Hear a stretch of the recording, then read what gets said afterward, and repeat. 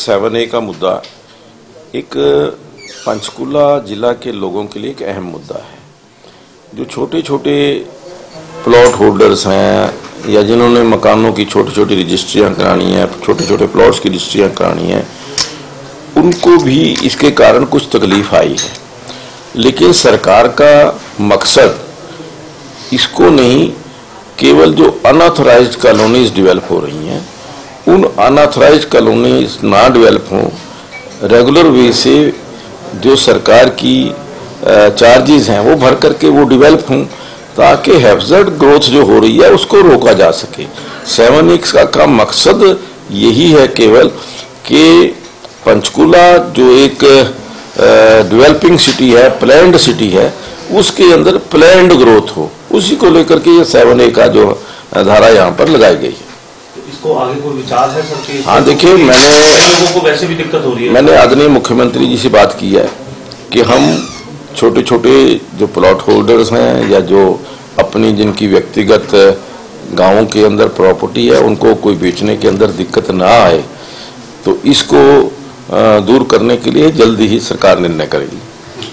एक सर जो जीत जिस तरीके से हुई है, मेयर चुनाव को लेकर के और पार्षदों को लेकर उसको लेकर के अब वोट कब होगी और दूसरा deputy mayor, senior deputy mayor को लेकर के क्या विचार कर रहे हैं देखिए, मैं सबसे पहले तो पंचकूला की जो जनता है, पंचकूला के सूझवान लोग हैं, उनका बहुत बहुत धन्यवाद करता हूँ, आभार व्यक्त करता हूँ कि उन्होंने एक साल के अंदर दूसरी बार पंचकूला को जो एक बहुमत से जिता करके भेजा है।